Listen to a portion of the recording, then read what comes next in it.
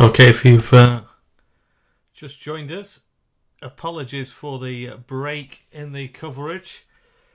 Seems that the uh, server went down. That's a message I'm getting on the uh, software. So um, just wondering really whether to try and quickly edit the. Don't know what it was. Was it about final 15 minutes of the first half? I'd have to quickly do that because unfortunately, with uh, system, there's no way of actually forwarding or rewinding the video start. So I'm sure we uh, we all don't want to have to go back to the start when we've been enjoying the game. So um, not sure whether to just go into the second half or quickly try and edit the uh, final 15 minutes or so of the first half. If you just bear with me a moment, I might just take some advice on that. So please bear with us. This is the problem of uh, trying to live stream from home.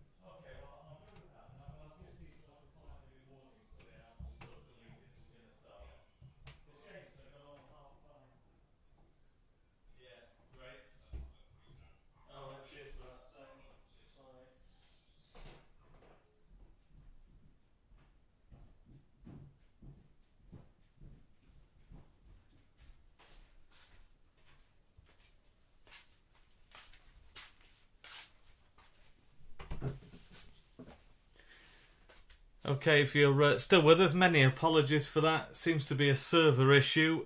It's just crashed, and uh, unfortunately, there's no way of just restarting it. Um, well, from where we left off, you have to start right from the beginning. There's no forward or rewind, unfortunately, so it would mean playing it right from the start. So I've just had a quick chat with a friend who suggests that we just go into the second half. So what I'll do is I'll leave that a few minutes, just going to put that out on social media, and fingers crossed we um, have the full interrupted second half and anything that may be beyond that. We've also got some post-match reaction as well. and uh, we hear from supporters who were there. So again, many apologies for the problem. Uh, it is beyond our control. I've been monitoring it, but um, yeah, just for the first time since we've been doing some of the live streams from home, uh, the actual server let us down. It crashed, and uh, that uh, unfortunately cut the broadcast short. So we will shortly uh, get underway with the second half. What I'll do in the meantime, for those of you who joined us uh, late, we did have some uh, pre-match package with various images and the "We Can Build Our Dreams" anthem from the time. So I'll play that, and then uh, we'll get back underway in about five minutes' time.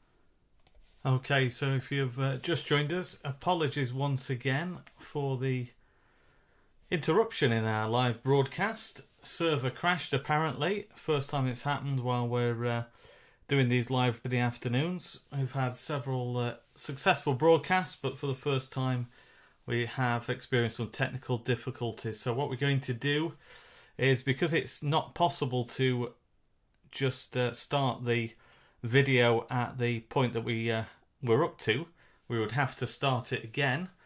Then we can go into the second half because that's a different video. So hopefully that will also sort out the uh, sync issues. Unfortunately, the video and audio out of sync in the first half, as you've no doubt seen. So uh, maybe that that improves in the uh, second half. But apologies once again. We are trying our best in very challenging circumstances at the moment. So We'll now rejoin the commentator Martin Tyler with his summariser Andy Gray for the start of the second half at Old Trafford. England, no goals as yet here at Old Trafford. Middlesbrough down to 10 men. Kinder off in that first half for two bookable offences. Gary Pallister, these Chesterfield supporters are seriously thinking about Wembley. Do they have a right to do that? The team have earned what they've had so far, haven't they? Yeah, they started off really well, Chesterfield. We talked about the, the nerves that they might have before the game. Um, but in the first 10 minutes, I think it was Middlesbrough that were more nervous, and Chesterfield had a couple of dangerous situations and uh, looked quite threatening. Then Middlesbrough settled, played some good football, and then they've had the knock now of the, of the man getting sent off. Hasn't helped, has it, Mark, the reorganisation yeah, that's right. I mean, you know, we struggled a little bit, you know, with the organisation, and, and especially now that once Kinder's gone. Um, but now I think Clayton Blackmore's come in and, and, and all settled down a little bit in the second half. You know, uh, I think the gaffer would have had a good word to the board. 45 minutes to sort it out. Yeah. There's been another goal at Roker Park, incidentally. Liverpool, remember, one up in the first half through Robbie Fowler. They're two up now. Steve McManaman has made it two for Liverpool at Roker Park. We wait the first goal here. Match commentators Andy Gray and Martin Tyler. Thank you, Richard. Well, there's no doubt that Middlesbrough have the individual ability in the side to overcome the obvious disadvantage. But they know there are testing times ahead here at Old Trafford. It would be extra time, of course, if it's still level after 90 minutes.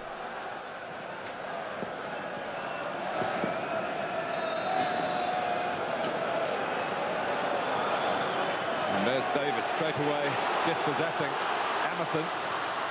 Morris.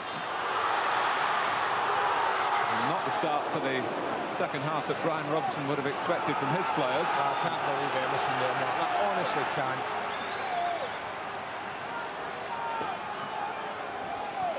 I know he's a confident lad, but that bordered on the ridiculous right at the beginning of this second half. Davies with a long throw.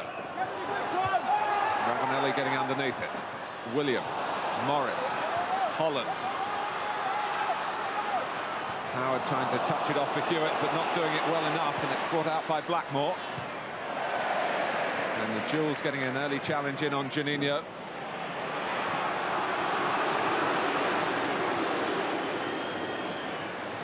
Fleming.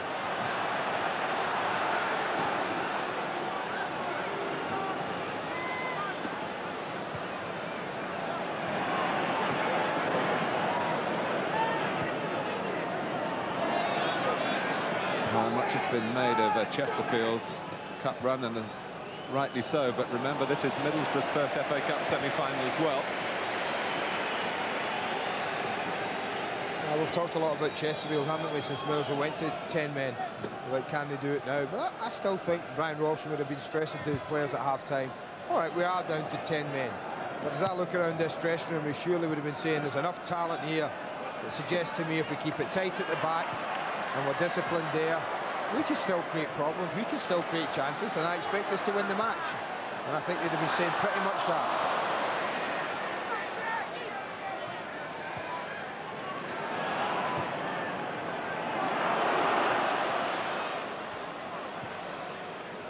Mustoe.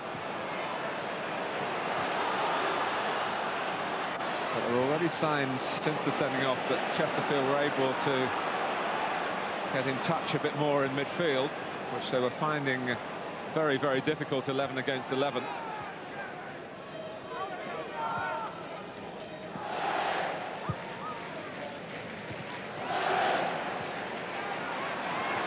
Curtis. Well read by Vickers. Hignett helping it on into a useful area. Juninho. Well, what a vital tackle that was, given the nature of Juninho's skills by Williams. That's unlike Juninho, he just showed a little bit too much of it.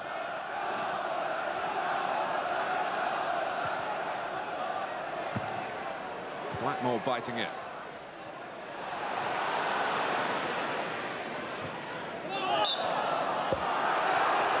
Middlesbrough's throw.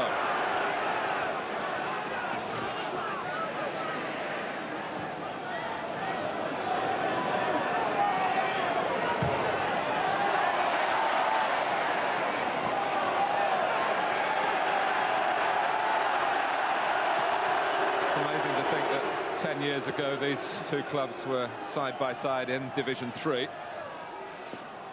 Middlesbrough overcame really critical times in the mid-80s and rebuilt. And now their finances at a very high level. Chesterfield have pretty much stayed put. They operate within their budget. And just occasionally, something totally exceptional crosses their path. There was a League Cup victory against Middlesbrough back in the 80s that they remember at Saltergate. But here's Juninho looking to spoil this semi-final for them here.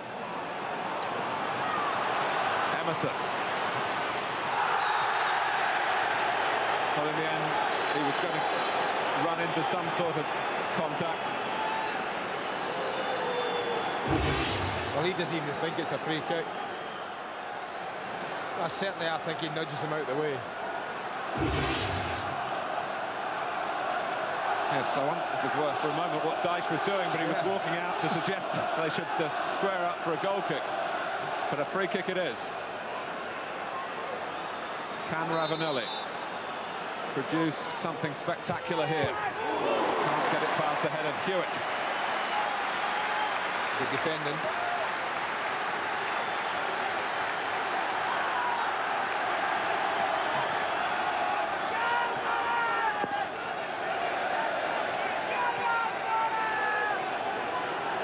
Hignett to take the corner, five minutes into the second half.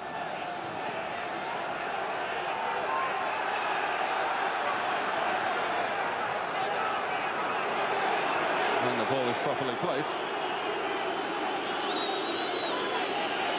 Festa lining up for a move towards the near post. Vickers going to that area as well. Behind them Ravanelli and Morris for Chesterfield. One player they wouldn't have wanted to head it down to would have been Juninho. Mustoe. Cut out by Perkins. There's even more atmosphere you sense in the second half with the respective sets of fans getting a better view of the attacking side of uh, each team's play. Lovely work from Emerson. Oh, Juninho tried to get in front of two, did get in front of two, but couldn't reach the ball. Brilliant work from Emerson. On from Davies. Mustoe. The long ball for Chesterfield comes from Curtis. Davies heading it on brilliantly. Howard's got a chance here. That might, just might, have been the chance that would have made Jon Howard a hero and taken Chesterfield to this year's FA Cup final. It is a good chance. It's as good a chance. Gets in behind Festa. He's got a clear shot at it. He's just unable to keep it down. He hits the target, he must surely have scored. Well, Davies put it into a perfect area for Howard to latch onto. It wasn't the perfect shot. Juninho. Here come Chesterfield again with Jules. Davies wants it to feet. Middlesbrough getting players around the ball. Emerson off the head of Curtis. Spin away for Hewitt. Davies wanting it again, but Hewitt looks further forward for Morris. Now it goes to Kevin Davies.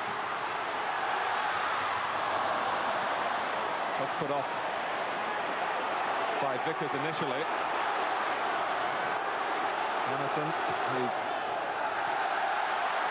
trickery hasn't paid off this time. Hewitt can't get the cross in.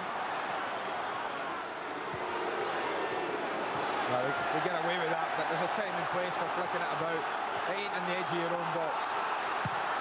In from Hewitt. Well, it's no exaggeration to say that Chesterfield had the opportunity here to make this the most famous FA Cup semi-final of all time.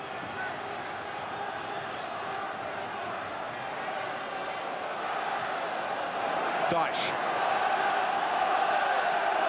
They've just Well, got to keep doing what they were doing, Mark. I, I mean, I don't like the way they're just popping it about. Why stop playing it in there and putting them under pressure? I mean, that's the one thing. When if they start to believe they can pass it about, no. They've done all right the way they've been playing. Carry on doing it. That's better. Howard behind Blackmore. Davies! It's a goal for Morris! It's a goal for Andy Morris and Chesterfield! In the ninth minute of the second half. He won't get an easier one, but he'll never get one that'll get attention like this. Well, they suddenly like they should have been doing. Howard does brilliantly against Blackmore. Look at Davies, I want it. He can't quite get there. Roberts makes it. Well, that's a great save. If a goalkeeper needed a bit of luck, it's there, because that's a fantastic save. But does Andy Morris care? No, he does not. Not one little bit. It won't be the best goal he's ever scored. I'll tell you what, it'll be the most memorable. So here's Hignett. Ravanelli. The team from Division 2 lead at Old Trafford in the FA Cup semi-final. Against the 10 men of Middlesbrough. And this is Jonathan Howard. Everyone in a blue shirt wanting the ball. They believe this is their day of destiny. Davies. Here's Perkins. Fleming comes out to try and close him down. Perkins looking to skip past him. It's a goal kick. Well, let's get a chance to catch breath here. I think you can't believe it. You know what he wants that clock to say, Martin? 85, not 55. So one thing Middlesbrough have in their favour. They have 35 minutes, so there's a goal. They passed it about a little bit, middle of the park for a while, then lengthened it. Can I just make one point here, Andy? Clayton Blackmore already booked, and he couldn't be too robust with his challenge. But look at that, they get a little bit of luck. They've needed it. Who's to say they've not deserved it? I can't believe he's not emotional. I can't believe it. His ambition, Morris. Oh, it's Davies! And David Elleray has said that entanglement with Blackmore was accidental, otherwise Blackmore would have gone. Yeah, you've got to give Blackmore the, the benefit of the doubt, but Davies is through, and I think he takes this on his chest. He does, and then the tackle comes in. I tell you what, the yellow card would have come out. No one would have been surprised. It was reckless from Blackmore. He made no contact with the ball. And had it come out, that would have been nine men for Middlesbrough.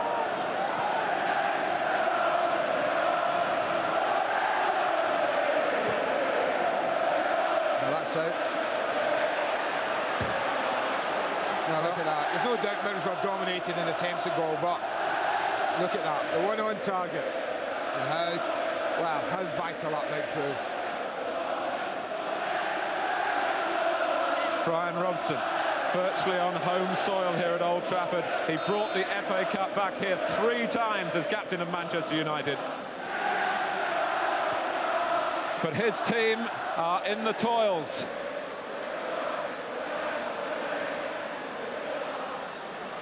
It's the Chesterfield fans who are singing We're Going to Wembley. Davies, who's looked a class act. He's looked a player. I think all three of them up front, man, I said it right at the beginning, they all showed at some time or other that they had what it takes to trouble the back four of Middlesbrough. And when it's been in that top third for Chesterfield, they've all looked a threat. Howard, Davies and Morris all looked a threat in various ways. But now they look Middlesbrough to Ravanelli and Juninho to get them out of this mess. What Chesterfield want to be doing is when they get it, to get, get it forward to that front three and say, go on, keep it up there as long as you can. Here comes Mercer. I look around though, Martin, you look for leaders at times like this, and you look around the red shirts, I mean, Nigel Pearson not there. I'm not so sure there's a genuine leader out there. Someone who's going to take his team by the scruff of the neck, He's going to slap a few around the head a bit and say, come on, don't you realise what's at stake here? Because that's what's needed there. Hewitt. That's what's needed from Middlesbrough. And Juninho working back. Mustoe as well. Hewitt hasn't given it up, scraping it forward. And the touch from Festa takes it out. Another of the men brought to Middlesbrough for seven-figure sums. But money doesn't buy you everything in football. Well, no matter what level of football you play, you earn the right to play. It's as simple as that. Whether you cost seven million or whether you a free transfer, that many of John Duncan's players are. You've got to earn the right at any level, particularly in this, I think, always will be and always has been the greatest club cup competition in the world.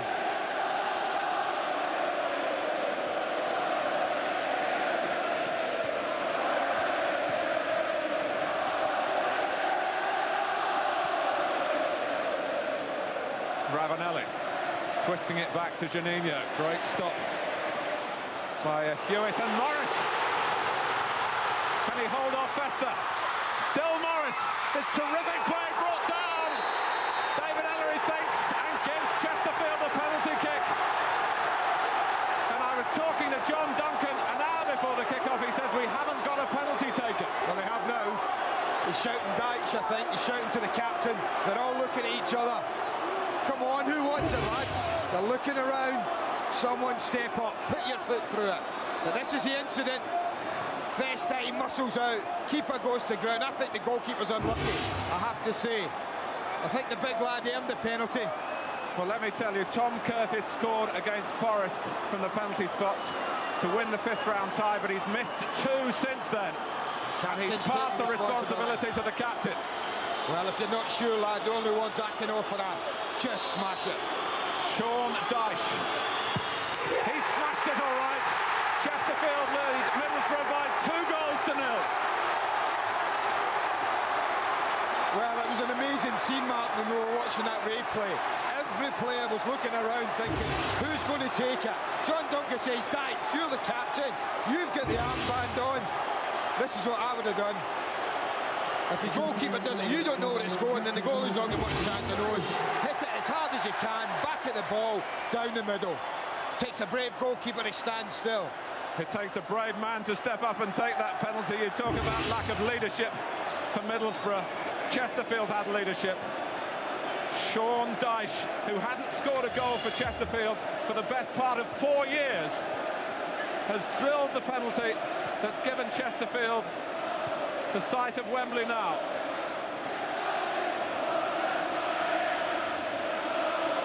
But what about Andy Morris's composure to go on and on and take on the goalkeeper?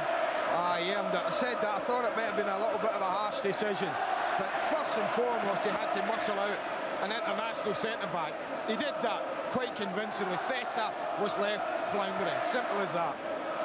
But I think he got a little bit of luck. Again, I said at the top, big decisions need to go their way. That was another huge decision that went Chesterfield's way. So Middlesbrough, in simple terms, need two goals in less than half an hour, even to take it into extra time, and they've got to try and do that with 10 men. Chesterfield hold all the aces. You just feel that Alan Moore's got to come on, Matt, sooner rather than later. I can't believe that, you know, if he doesn't get him on as quickly as possible. Mercer sure-handed. Middlesbrough are short-handed. Well, you couldn't have, really, greater extremes of emotion. This isn't a dream, Mark. This is in the realms of fantasy. I have to say, if you're a Chesterfield supporter, unbelievable. Unbelievable. But this has been an extraordinary year in this glorious competition.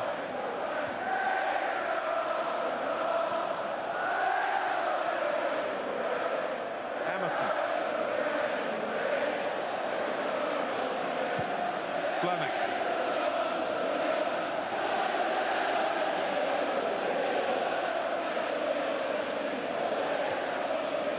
Middlesbrough needs some cool heads, but they need some creative play. And that'll do for Chesterfield in these circumstances. Well, they're down Middlesbrough, but they're not out. This game is, I don't believe it's beyond them. They've got to work extremely hard. They've got have belief. It's certainly not beyond them, though. Emerson. And Blackmore with a chance to pull one back. Ravanelli has done it.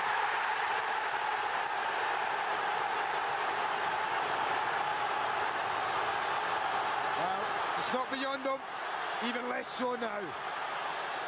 So important for Middlesbrough to get the goal back. Great run from Blackmore, who goes really untracked for about the first time in the match. Somebody goes to sleep. Emerson's ball's a super one. Look at this. Not his strong side, but he plays a great ball in. That's great delivery. And Ravanelli just muscles his way in. He knows any touch on this, and I'm going to score. And that's what he gets. Not the most convincing of touches, but a most important one. Game Well, on. 28 goals this season, 14 of them have come in cup ties.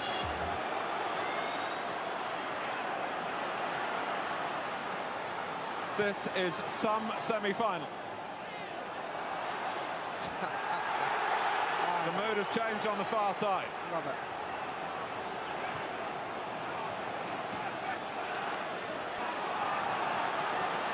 Vickers.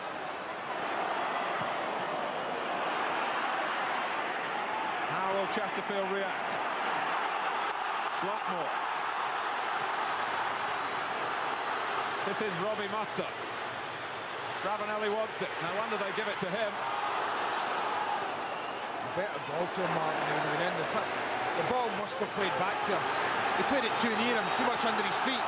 If he'd have just played it a yard in front of him, then he could have just stepped onto it. Look, he just plays it straight back to him. He has to touch it. And that gave defenders an opportunity to get the block in. He'd liked to hit that first time, Ravanelli. Morris.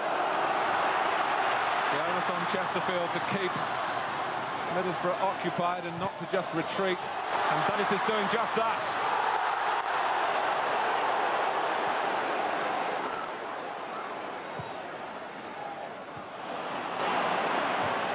Festa. Nicely done by Williams, but Hewitt wanted a way out and he got it from Dyche. and he just found Jules.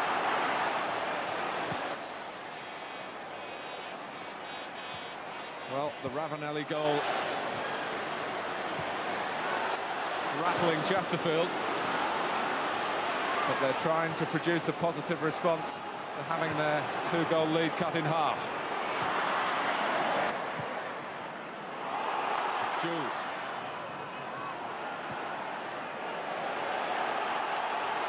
One thing about John Duncan's team, they're very self-motivated. There's not a soft touch amongst them. They'll be the most gifted 11 players that have come out for an FA Cup semi-final. But they're not going to be second best in attitude to anybody. But it's a test of that attitude now.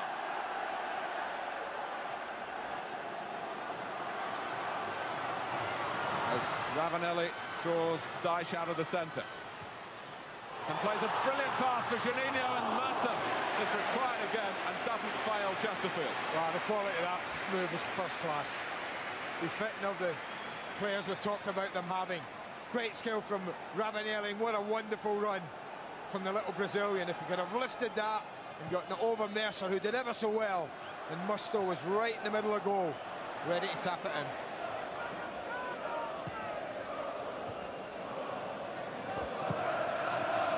Davies could dart in behind Festa here, who showed uh, good powers of recovery.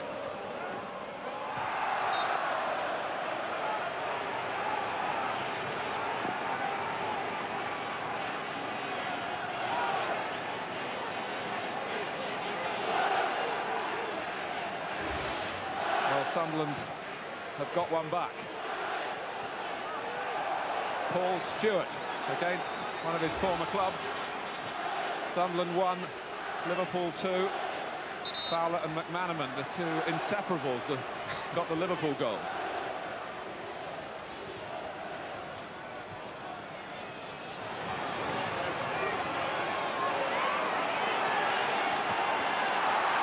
This is Davies. Hewitt is there. And it comes for Howard. Can they get another one? Off the other side of the bar. Linesman's The flagging Martin. has got the flag. He's given the goal. Linesman's given a goal. What is the referee giving? Or is he giving offside? This linesman was flagging and then ran away to the halfway line. What was going on there? Is someone offside? No. He's certainly not offside. Fleming's playing him on. Now, does this cross the line? The linesman said it did, it did, but it's not been given. Well, Alan Sheffield on this near side put the flag up and then took it down again and presumably agreed with what David Elleray did to restart the game. Well, I'm a long way away, Mark. My reading was the linesman signalled, that's a goal, and immediately was sprinting to the halfway line to take his position up for a restart. David Elleray, well, I'll be interested to know what he gave. I'm amazed. Didn't look to be anybody offside. Jules. Well, that was optimistic. He got two to his left. But certainly as Howard's shot came down off the underside of the bar, the flag was up.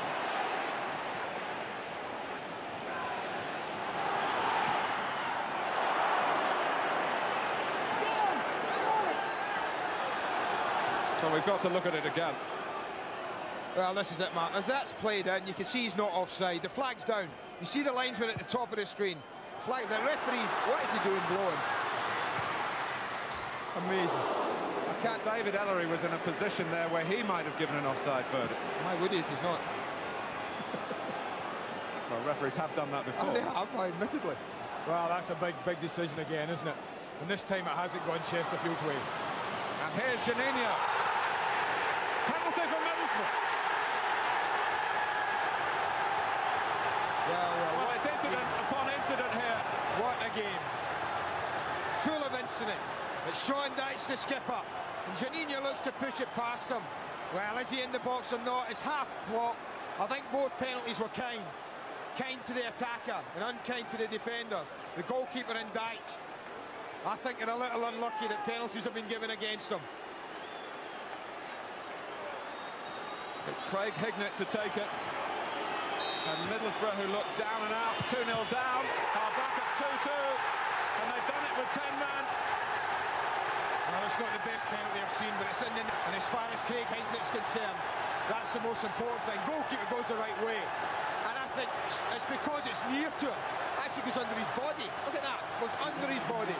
Had that been a couple of feet away from where they saved that, just didn't get down quick enough. He's a little unlucky, the goalkeeper. Well, what a five minutes that is, Martin, in the context of the match. A disallowed goal. Well, it certainly looked a disallowed goal to me. What? Well, no doubt we'll find out later. That might have taken Chesterfield to Wembley. And within two minutes or so, Middlesbrough are level. Was the first contact outside the area? Was it obstruction rather than an infringement that would lead to a penalty? It's in the record books now.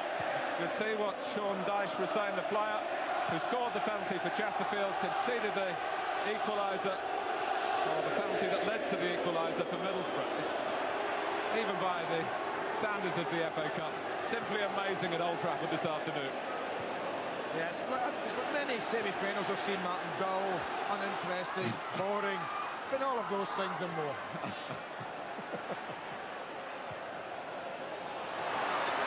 Hignett again.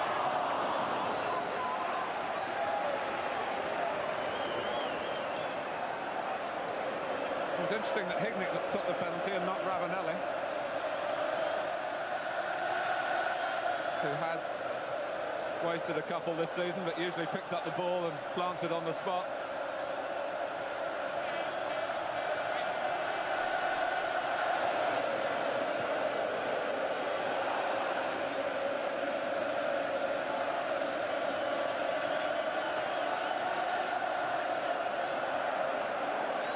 Go on, call it then, Tyler. You're good at this. what way is it going? Eh? Goodness me.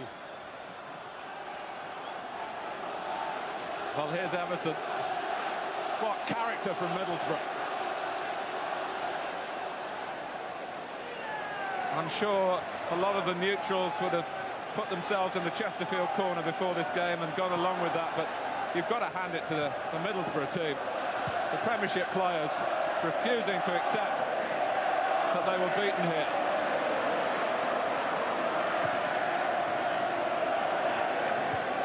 Howard, who's had, even regarding the fact that the ball uh, hit the bar and maybe or maybe not crossed the line or maybe or not should have been given a goal. He's had two good chances that he hasn't taken, Jonathan Howard. Hignett. There's uh, Juninho throwing his weight about. Considerable it is as well, isn't it? Look at that. Well, we talked about David Elleray giving two penalties at Wembley in that Manchester United-Chelsea final. He's given two here in the semi-final at Old Trafford. And the man who won the sixth round for Chesterfield that was left out from the start today is coming on, Chris Beaumont, replacing Paul Holland.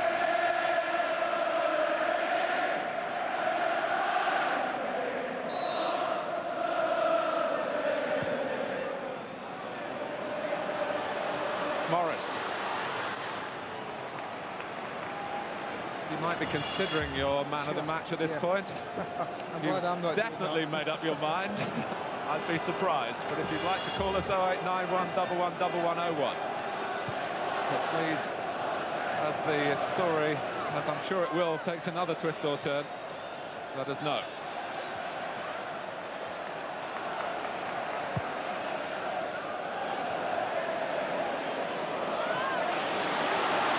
This is Davies. And that was an awkward skip through to Ben Roberts, but he got plenty behind it. And not only hung on, used the ball quickly towards Ravanelli, forced it on to Juninho. Yeah, the players are just wrapped up in this, Mark. There's not a lot any manager can do to get instructions on. The, game's just taken over. The pace of it, the tempo. It is a credit to everyone involved. Look at Festa. He's just bombed 20 yards past Juninho. to Here join he in. is. Festa, Ravanelli. Festa! Corner. A corner. Oh, surely a corner. Well, he's got that one wrong, but it might give us a chance to... Well, look at that. This is definitely a corner. You can see that. takes a clear deflection. But maybe we can clear up when he actually blows his whistle. You can see there's no offside there. Definitely, he's not in line. He's not in a position to give that decision, in my opinion. He's pointing. Who's he pointing against, though? That's a strange one. Anything new on that, Mr. Tally, you saw? No, but I would say he had blown.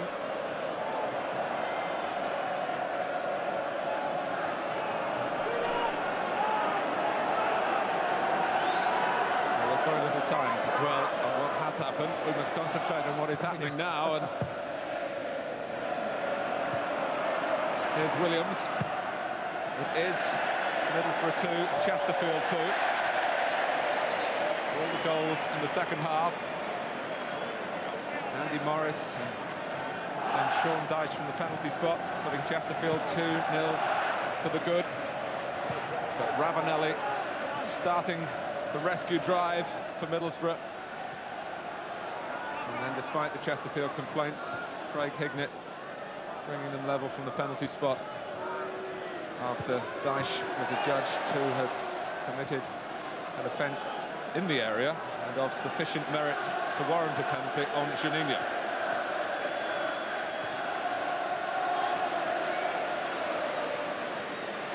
Hignett.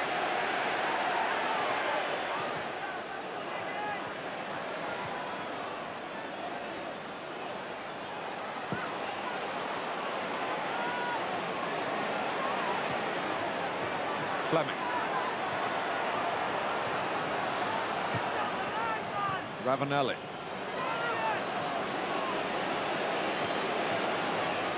Here's Mustoe. Challenged by Beaumont. Davies.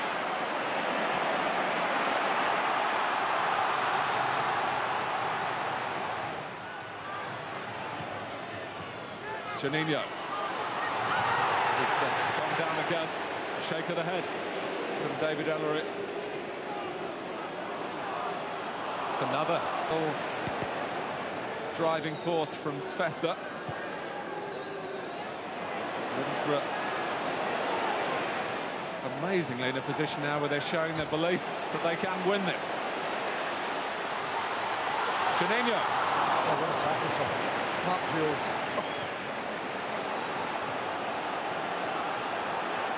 Morris. Trying to go around the outside of Vickers, who refused to be passed. Emerson. Juninho, there's a player to the right from Middlesbrough, it's Hignett, but while Juninho was looking up to see him, in went Chris Beaumont with the tackle. Can't thread it forward for Davies.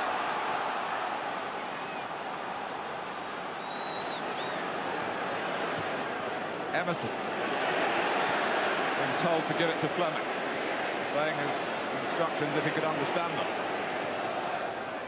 Williams should head it away. We're 10 minutes or so away from extra time, but don't bank on it. Juninho.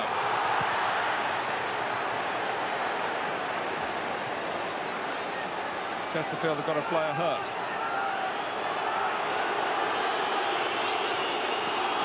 Sporting. I'm not too sure many of his supporters feel that. Ah. it gives us an opportunity, Mark, to look at those two penalty incidents, both of which I went, thought went very much in favour of the attack. He does well there. I'm not so sure the goalkeeper's a little unlucky there. And then we wondered whether it was inside the box or outside the initial challenge as Juninho drives in. Close one to call. Looked as if the initial touch was outside, but from where David Elleray's making the decision, well, he'd have difficulty in seeing that.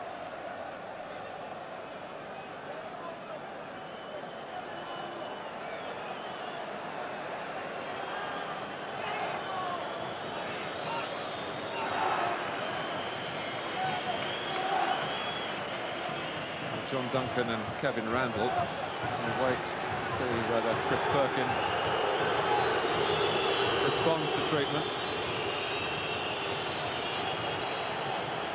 The thing that they're trying to do now is how to get the ball back to them after Curtis Fleming. Middlesbrough don't realise that what they're trying to do is just give them it back. That's exactly what they've done. Now they do. Etiquette observed.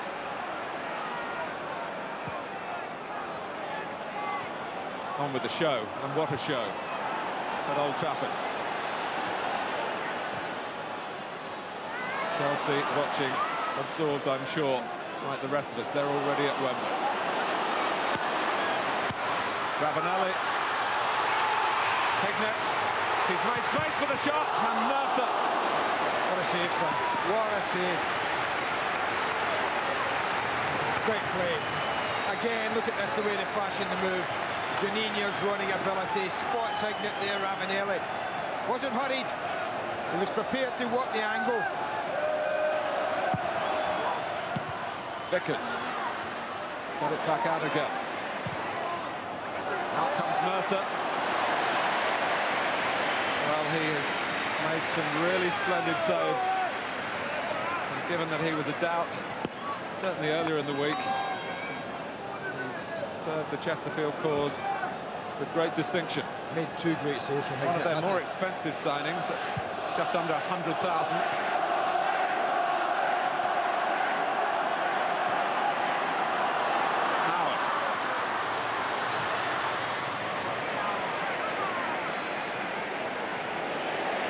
Blackmore.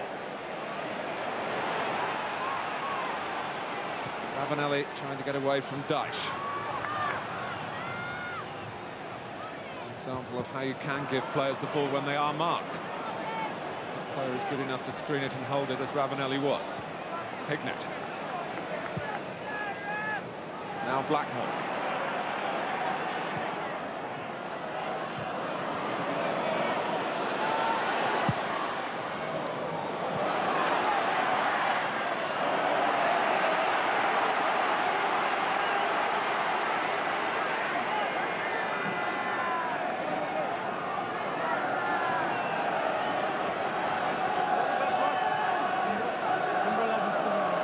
Williams. Festa, in true Italian fashion, with a way of stopping Andy Morris being effective. Juninho. Ravanelli.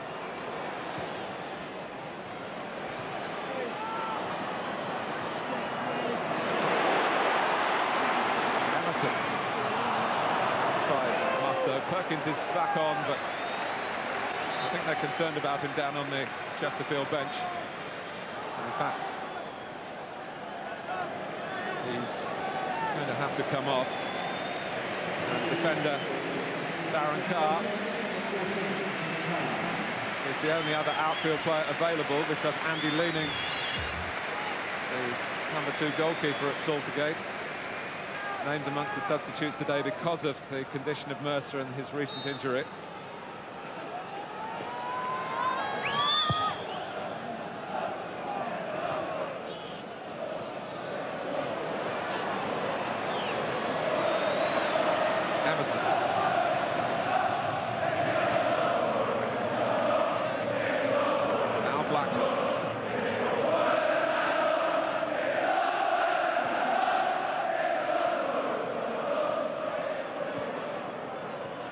Hignett. Ravanelli stole a yard on Dyche.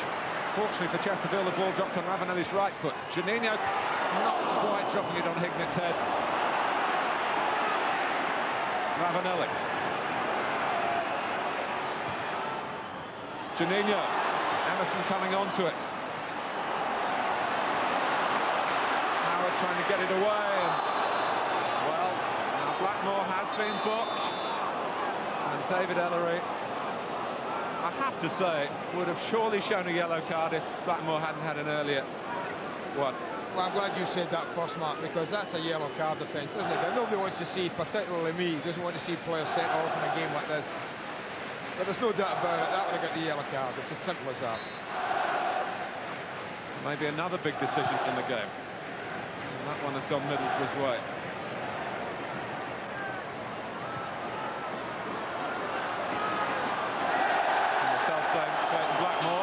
Concedes a corner. Now this would be a, a time to score. Well, I've had very little action up this part of the field since Ravanelli got Middlesbrough back into it. It's been all Middlesbrough who have dominated possession and territorially.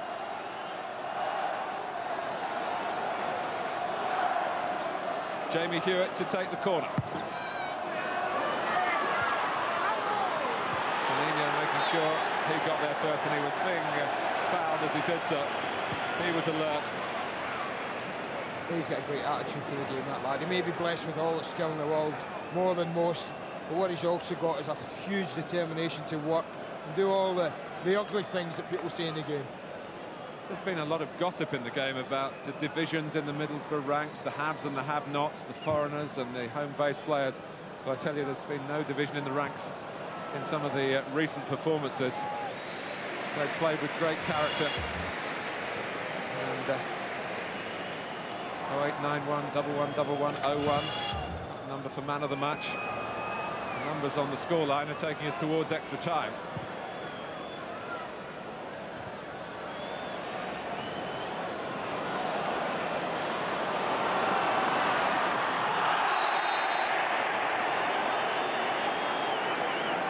Festa with one of the foreign traits that I totally disapprove of, indicating to the referee that he should produce a yellow card for a member of the opposition.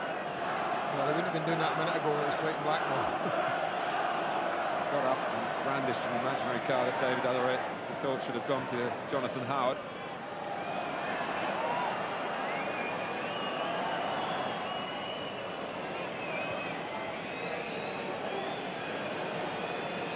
Emerson.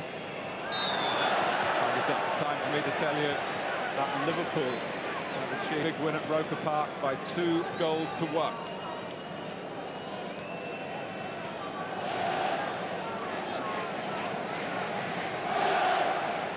Oh, that does set up next Saturday.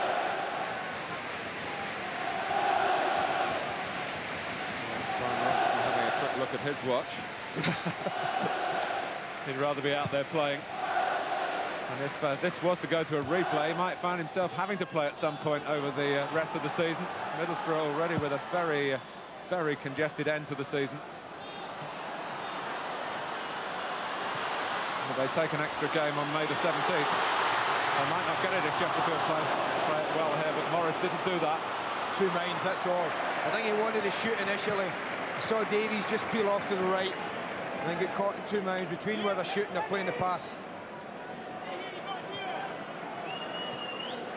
Be some tired bodies out there now. Martin, every one of the players show has been playing from the first whistle, has put absolutely everything into it.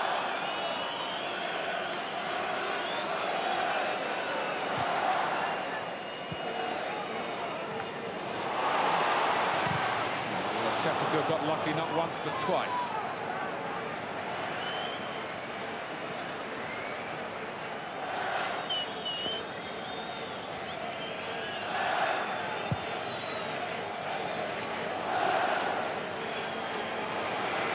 Oh, Morris almost easing it on for Davies.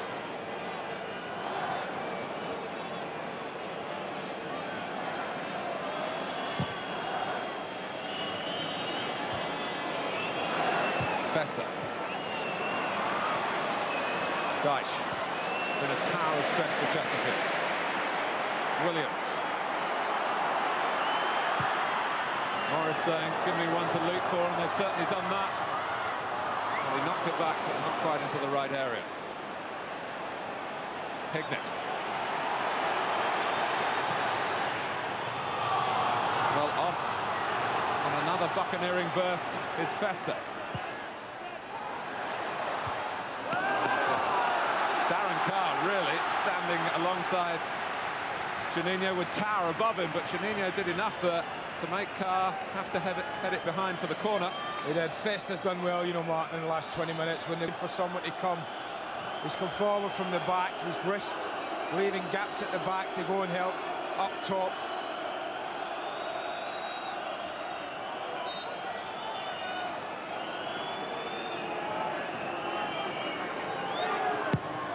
Middlesbrough's corner in stoppage time.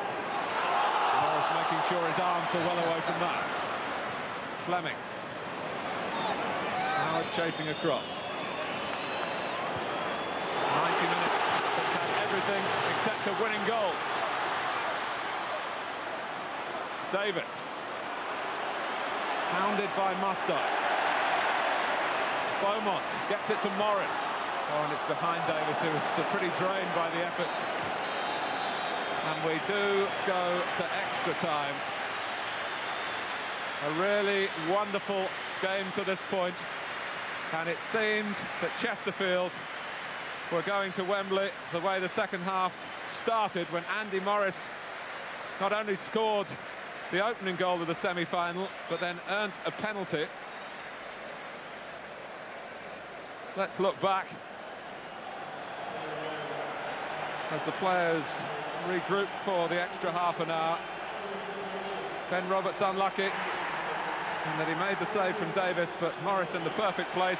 1-0 to Chesterfield. All this, of course, with Middlesbrough down to 10 men. Kinder sent off in the first half. Morris missed a cool in the circumstances. And then, as Andy Gray was saying, he feels Roberts was a bit unfortunate again there. But a penalty it was. John Duncan delighted. but then he had to sort out a penalty taker. Dyche, the captain, took on the responsibility and produced the goods.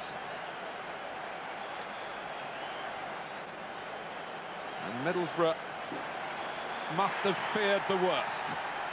But Brian Robson has not only assembled an expensive team, he's assembled a brave team. Ravanelli. Hope revived. And Clayton Blackmore putting uh, in a splendid pass from the left. Then this incident.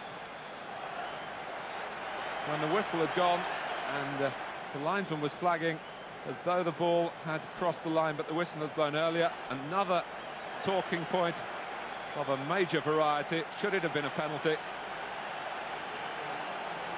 Whether it should or whether it shouldn't is still a matter for debate. Dyche on Juninho, a penalty it was. And Hignett squeezed it under Mercer.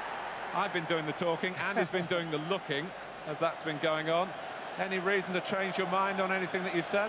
Martin, I look around and there are, there are a bunch, two teams who are absolutely dead on their feet at the moment. They're absolutely shattered. Middlesbrough, no surprise because there have been a man shot. There are two goals down. They've had to work their socks off. And there's no doubt that probably the Premiership side would have been the fitter side. So there's no doubt in Chesterfield's players have probably worked harder in this 90 minutes than they've ever done. So there's two very tired sets of footballers out there. You get tired minds and tired bodies. You get mistakes. You get gifted players who can do something, might just win it. Think about Juninho in particular. You know, but you look back, and John Duncan will look back on this incident, and I still don't know what he's given, Martin. There's the shot. Now, there's no offside. You can see Curtis Fleming at the top of the screen playing everybody onside. Right, now, how on earth he's given offside when he's not even in a position to do it? Yeah, but he's in no position to do that. Then the linesman who's kept his flag down all through that move puts it up and signals a goal. Then the whistle goes again. Now, I still, for the life of me, don't see how David Elleray, from that position, when he's not in line with the last defender, who's Curtis Fleming, can blow off. That's what he's done for offside. But no doubt Mr Elleray will inform us. Well, when he's in charge of a major match, he's often the focus of attention. Well, which is a shame in many ways. Too many games are like that, I'm afraid. Big games.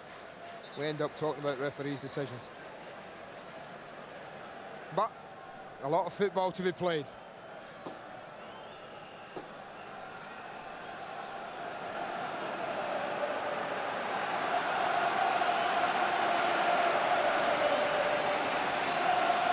Brian of course, though, Martin, does have, what is it, Derek Whyte and Alan Moore.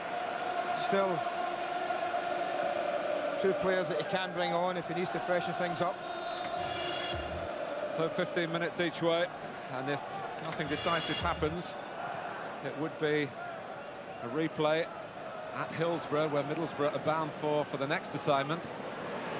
That uh, FA Cup semi-final replay will take place on April the 22nd, should it be required.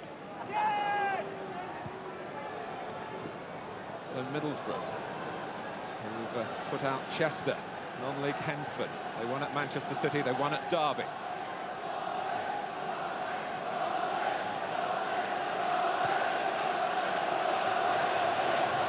Replays haven't been the order of the day for either of these clubs so far in the competition.